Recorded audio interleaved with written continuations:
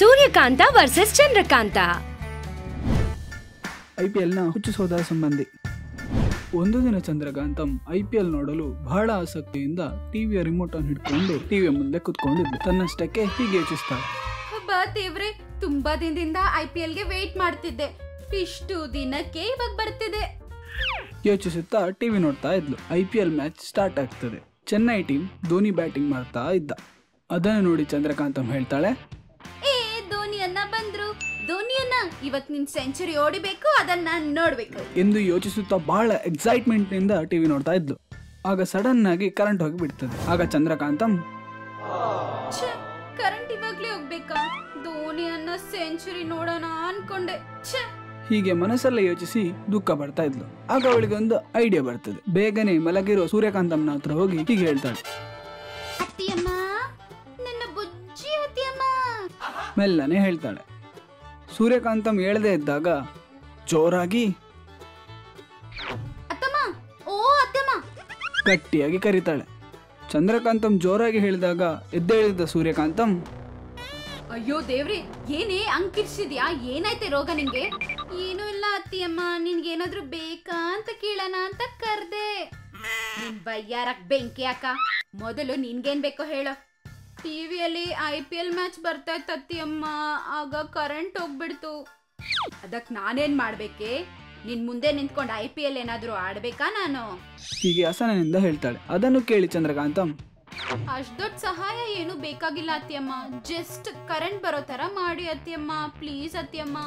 ಲೇ ನಾನೇನಾದ್ರೂ current officer ಏನೇ? ಕರೆಂಟ್ ಹೋದ್ರೆ ಕರೆಂಟ್ ಬರೋ ತರ ಮಾಡಕ್ಕೆ? ಅದಲ್ಲ ಅತ್ತಿಯಮ್ಮ, ನಿಮ್ಗೆ ಮ್ಯಾಜಿಕ್ ಬರುತ್ತಲ್ವಾ? ಆ ಮ್ಯಾಜಿಕ್ ಇಂದ ಹೆಂಗಾದ್ರೂ ಕರೆಂಟ್ ಬರೋ ತರ ಮಾಡಿ ಅತ್ತಿಯಮ್ಮ ಪ್ಲೀಸ್ ಅತ್ತಿಯಮ್ಮ. ಲೇ ಮ್ಯಾಜಿಕ್ ಅಂದ್ರೆ ಒಳ್ಳೆ ವಿಷಯಕ್ಕೆ ಉಪಯೋಗ ಮಾಡೋದ್ ಕಣೆ. ಈ ತರ ಯಾವ್ದಂದ್ರೆ ಅದಕ್ಕಲ್ಲ. ಅತ್ತಿಯಮ್ಮ ಪ್ಲೀಸ್ ಅತ್ತಿಯಮ್ಮ. ಐ ಪಿ ಎಲ್ ಅತ್ತಿಯಮ್ಮ, ಧೋನಿ ಅತ್ತಿಯಮ್ಮ ಸೆಂಚುರಿ ಹೊಡಿತಾರೆ ಪ್ಲೀಸ್ ಅತ್ತಿಯಮ್ಮ. ಹೇಳುತ್ತಾ ಒಪ್ಪಿಸಿಕೊಳ್ತಾ ಇದ್ಲು. ಆಗ ಸೂರ್ಯಕಾಂತಂ ಏನೇ ನಿನ್ಗೆ ಈ ಐ ಪಿ ಎಲ್ ಹುಚ್ಚು? ಸರಿ ಆಯ್ತು ಇವಾಗ ಹೋಗ್ ನೀನು ರೇಷನ್ ತಗೊಂಡ್ ಬಾ. ಆಮೇಲೆ ಹೇಳ್ತೀನಿ. ಆಗ ಚಂದ್ರಕಾಂತಂ ಅಳುಮುಖ ಮಾಡಿ ಹೀಗೆ ಹೇಳ್ತಾಳೆ.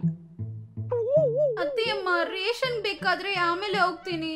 ಐ ಪಿ ಎಲ್ ಮ್ಯಾಚ್ ಮುಗ್ದೋಗುತ್ತೆ. ಏನೋ ಒಂದ್ ಮಾಡಿ ಕರೆಂಟ್ ಬರೋ ತರ ಮಾಡಿ. ಏನೇ ನಿಂದಿ ಹುಚ್ಚು? ಮನೆ ಕೆಲ್ಸ ಬಿಟ್ಟು ಐ ಪಿ ಎಲ್ ಹುಚ್ಚೇನೆ ನಿನ್ಗೆ? ಲೇ, ದಿನ್ಸ್ಗಳಿಲ್ದೆ ಏನೇ ಊಟ ಮಾಡ್ತೀಯಾ? ಫಸ್ಟ್ ಹೋಗಿ ಆ ರೇಷನ್ ಏನೋ ಸ್ವಲ್ಪ ತಗೊಂಡ್ ಹಾಕಿ. ಹೇಳ್ತಾಳೆ. ಅದನ್ನು ಕೇಳಿ ಏನೂ ಮಾಡಲಾಗದೆ ಚಂದ್ರಕಾಂತಂ ಸಾಮಾನು ತರಲು ಹೊರಗೆ ಹೋಗ್ತಾಳೆ. ಹೀಗೆ ಹೋಗ್ತಿರುವಾಗ ದಾರಿಯಲ್ಲಿ ಸಕ್ಕರೆ ಸುಜಾತನ ಮನೆಯಲ್ಲಿ ಜೋರಾಗಿ ಕಿರ್ಚೋ ಶಬ್ದ ಕೇಳ್ತಿತ್ತು. ಚಂದ್ರಕಾಂತಂ ಹೋಗಿ ಸುಜಾತನ ಮನೆಯ ಕಿಟಕಿಯಿಂದ ಒಳಗೆ ನೋಡ್ತಾಳೆ. ಸಕ್ಕರೆ ಸುಜಾತ ಆರಾಮಾಗಿ ಎ ಸಿ ರೂಮ್ನಲ್ಲಿ ಕುತ್ಕೊಂಡು ಮ್ಯಾಚ್ ನೋಡ್ತಾ ಇದ್ಲು ಹಾಗೂ ಚೇರಪ್ ಮಾಡ್ತಾ ಇದ್ಲು. ಅದನ್ನು ನೋಡಿ ಚಂದ್ರಕಾಂತಂ ಸುಜಾತನ ಮನೆಯೊಳಗೆ ಹೋಗ್ತಾಳೆ. ಚಂದ್ರಕಾಂತಂನನ್ನು ನೋಡಿದ ಸುಜಾತ ಲೇ ಚಂದು ಬಾರೇ ನಾವಿಬ್ರು ಸೇರಿ ಮ್ಯಾಚ್ ನೋಡೋಣ ಬಾ ಹೀಗೆ ಹೇಳಿ ಒಳಗೆ ಕರ್ಕೊಂಡು ಹೋಗ್ತಾಳೆ. ಆಗ ಚಂದ್ರಕಾಂತಂ ಲೇ ಕರೆಂಟ್ ಹೋಯ್ತಲ್ವೇನೆ ನಿಮ್ ಮನೇಲಿ ಎ ಸಿ ಟಿವಿ ಎಲ್ಲ ಹೆಂಗೆ ಓಡ್ತಿದೆ? ಲೇ ನಮ್ಮ ಮನೇಲಿ ಯು ಪಿ ಎಸ್ ಇದೆ ಕಣೆ. ಇದೆಲ್ಲ ಯು ಪಿ ಎಸ್ ಮೂಲಕನೇ ಓಡ್ತಿರೋದು. ಇದನ್ನು ಕೇಳಿ ಚಂದ್ರಕಾಂತಂ ಶಾಕ್ ಆಗ್ತಾಳೆ. ಹಾಗೂ ಸುಜಾತನ ಹತ್ರ ಹೀಗೆ ಹೇಳ್ತಾಳೆ. ಹೌದೇ ಈ ಐ ಪಿ ಎಲ್ ಬಂದಿರೋ ಬೆಟ್ಟಿಂಗ್ ದುಡ್ಡಿಂದಾನೇ ತಗೊಂಡಿದ್ದು. ಏನು ಬೆಟ್ಟಿಂಗ್ ದುಡ್ಡಿಂದ ತಗೊಂಡ್ಯಾ? ಇದನ್ನು ಕೇಳಿ ಚಂದ್ರಕಾಂತಂ ಶಾಕ್ ಆಗಿ ನೋಡ್ತಾಳೆ. ಇದಕ್ಕೆ ಏನೇ ನೀನು ಇಷ್ಟು ಶಾಕ್ ಆಗ್ತಿದ್ಯಾ? ಬಾ ಈ ಬೆಟ್ಟಿಂಗ್ ದುಡ್ಡಿಂದಾನೇ ನಾನು ನಮ್ಮ ಮನೇಲಿ ಎಸಿ ತಗೊಂಡಿದ್ದು. ಅದನ್ನು ಕೇಳಿ ಚಂದ್ರಕಾಂತಂ ಹೀಗೆ ಹೇಳ್ತಾಳೆ. ಏನೇ ಬೆಟ್ಟಿಂಗ್ ಅಲ್ಲಿ ಅಷ್ಟು ದುಡ್ಡು ಬರುತ್ತೇನೆ? ಹೌದೇ ಮಸ್ತ್ ದುಡ್ಡು ಬರುತ್ತೆ. ಹಣದ ವಿಚಾರ ಹೇಳುವಾಗ ಚಂದ್ರಕಾಂತಂನ ಕಣ್ಣಲ್ಲಿ ಸಾವಿರ ವೋಲ್ಟ್ನ ಬಲ್ಬ್ ಇರುತ್ತದೆ ಆಗ ಚಂದ್ರಕಾಂತಂ ಬೇಗನೆ ಸುಜಾತನ ಹತ್ರ ಲೇ ಲೇ ನಾನು ಬೆಟ್ಟಿಂಗ್ ಮಾಡ್ತೀನಿ. ಆಯ್ತೆ ಎಷ್ಟ್ ಮಾಡ್ತೀಯಾ? ಅತ್ತಿಯಮ್ಮ ನನ್ಗೆ ರೇಷನ್ ತರಕ್ಕೆ ಎರಡ್ ಸಾವಿರ ಕೊಟ್ಟಿದ್ದಾರೆ ಅದನ್ನ ಹಾಕ್ತೀನಿ.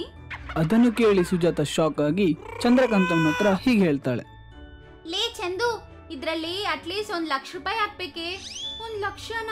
ನನ್ನ ಹತ್ರ ಅಷ್ಟು ದುಡ್ಡು ಇಲ್ವೇ ಹೀಗೆ ಹೇಳ್ತಾಳೆ. ಇಬ್ರು ಯೋಚನೆ ಮಾಡ್ತಾ ಇರ್ತಾರೆ. ಅಷ್ಟರಲ್ಲಿ ಅಲ್ಲಿಗೆ ಅವತಾರಂ ಬರ್ತಾನೆ. ಬಚ್ಚಕ್ಕೆ ಬಚ್ಚಕ್ಕೆ. ಅಕ್ಕ ನಂಗೆ ಪರಿಚಯದೊಬ್ಬ ದಾದ ಇದ್ದಾನೆ. ಅವನು ಹಣವನ್ನು ಸಾಲವಾಗಿ ಕೊಡ್ತಾನೆ. ಮ್ಯಾಚ್ ಗೆದ್ದ ನಂತರ ಅವನಿಗೆ ಹಣವನ್ನು ಹಿಂದಿರುಗಿಸಿ. ಅಷ್ಟೇ ಅಕ್ಕ ಹೇಳ್ತಾನೆ. ಅದನ್ನು ಕೇಳಿ ಚಂದ್ರಕಾಂತ ಮತ್ತು ಸುಜಾತ ಅವತಾರನೊಟ್ಟಿಗೆ ಆ ದಾದನ ಹತ್ರ ಹೋಗ್ತಾರೆ ಹಾಗೂ ಸಾಲವನ್ನು ಕೇಳ್ತಾರೆ.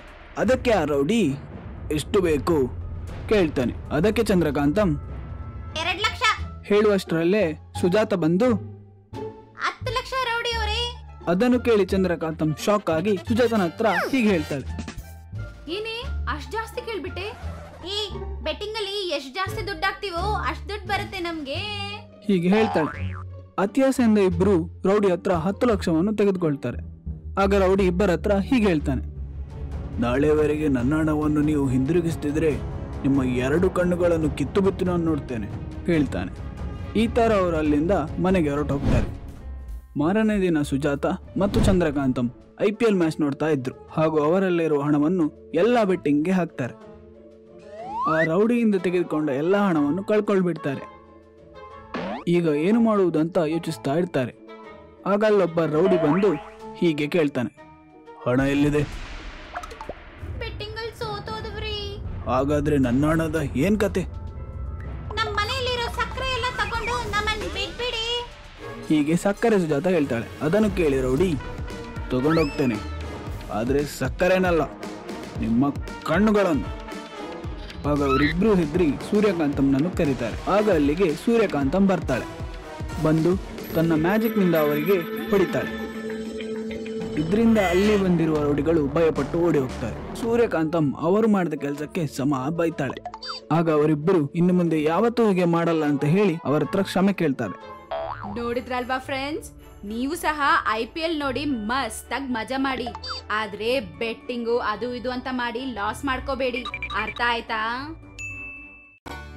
இந்த எபிசோடும் உங்களை நல்லா சிரிக்க வச்சிருக்கோம்னு நாங்க நம்புறோம் இன்னும் இதுக்கு வெயிட்டிங் இப்பவே சப்ஸ்கிரைப் பண்ணி பெல்ல அடிங்க உங்களுக்கு மங்கம்மா பிடிக்குமா இல்லைன்னா கங்கம்மா பிடிக்குமா கமெண்ட் மூலமா உங்க கருத்துக்களை சொல்லுங்க உங்களை குஷிப்படுத்தும் மேலும் பல வீடியோஸ்க்கு பார்த்துக்கிட்டே இருங்க. சாச்சா டிவி